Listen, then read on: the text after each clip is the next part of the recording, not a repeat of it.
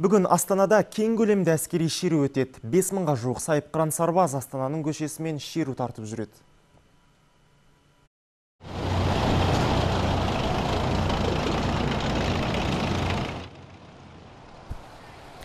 Сонымен бірге қарулы күштеріміздің қауқарын көрсету үшін лег-легімен ағылған танкілер, зеңбіректер, БТР, БМПлар барлығы 200-ден астам әскери көлік көшеге шығады.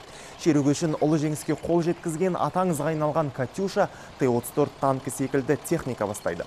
Биылғы әскери шараның тағы бір ерекшелігі ұшақтар мен тікұшақтар таңдай қақтырар тамаша маневрдің түр түрін жасап авиашоу көрсетеді. Оған 80-нен астам әуе кемесі қатысады. Зулаған жойғыштар тұмсығымен көкке шаншылып 70 деген сан жазады. Отан қорғаушы күніне арналған әскери шеруді бүгін сағат 10.45-те тікелей эфирде арнамыздан көре аласыздар.